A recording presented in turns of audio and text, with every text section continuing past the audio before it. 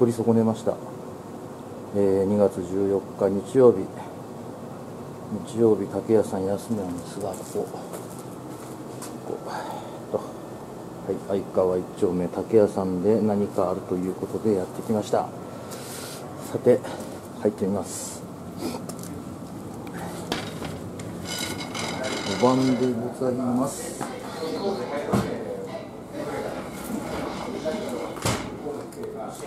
5番です。お